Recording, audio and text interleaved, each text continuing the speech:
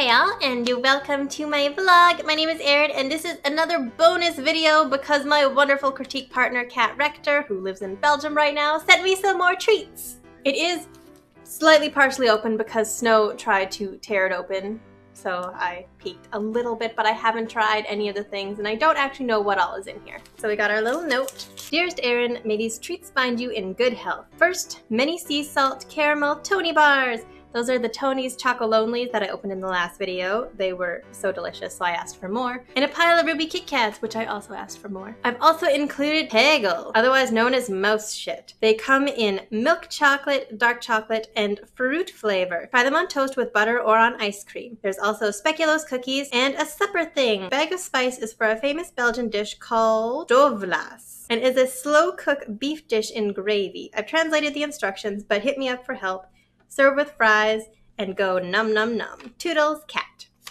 Like, why are you so cute all the time, cat? These are, oh god, one of them opened, one of them opened. There's chocolate all over the inside of this package. These are the three flavors. We got the fruit, dark, and milk chocolate. I think they got a little bit crushed in shipment, which is why one of them decided to open. There are multiple little boxes of them. So many little boxes of them. Oh god, another one opened. They're so crushed. Oh my goodness, I get so many copies of everything. These are the speculoos cookies, the Jules Destroopers. So just a different variety from last time. Last time was the waffle cookies, and I guess these are the speculoos, which are fucking delicious. Oh my god, they're like four packs, three packs?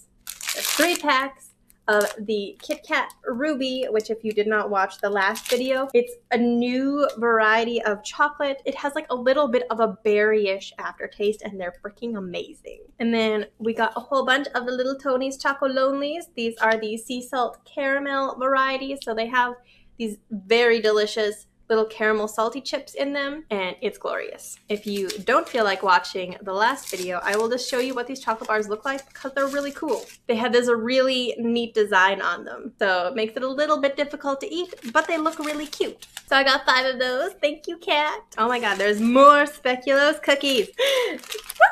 so there are, oh god, there's eight speculoos cookies in this package.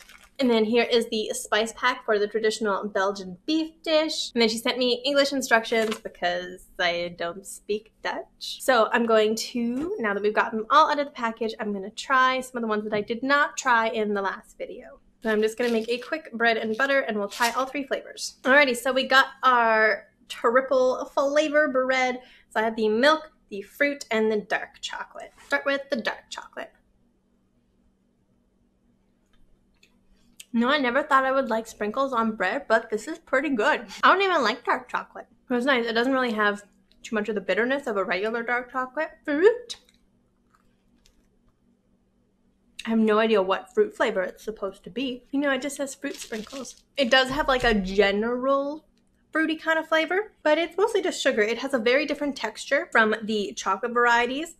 I don't know if you can see, but they are a lot rougher on the outside, like they don't have that shiny outside coating. And a milk chocolate. Okay. There's peoples. I think I might actually like the dark chocolate one the best. It has like a really good balance of flavors. The milk chocolate, again, is just chocolate flavored sugar, which it's a sprinkle, so I don't know why I was expecting anything else. I am not going to make this recipe right now because I don't have any of the ingredients. All right, and then the other one to sample that I did not get to try in the last video is the speculoos cookies. I did have speculoos tea last time, so I already know what speculoos tastes like because it's amazing. Here is the very, very cute speculoos cookie. They have a lot of similar flavors to like a masala chai. It's very, very similar to like a ginger snap, but almost like a more gentle flavor in comparison. Oh my god, they're so good. I'm gonna eat these with all of my tea. It's a cookie. no, you can't have it.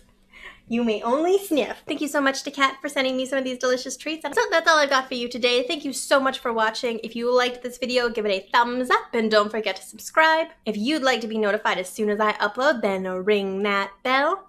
All my social media links will be in the description below. Both of my books, Olympian Confessions, Hades and Persephone, and Olympian Confessions, Hera, are available now in ebook and paperback. If you would like your manuscript critiqued by me, you can check out my new critique service on my website. If you've enjoyed my content, consider being part of my Patreon family, and I will see you all next week with another video. Bye!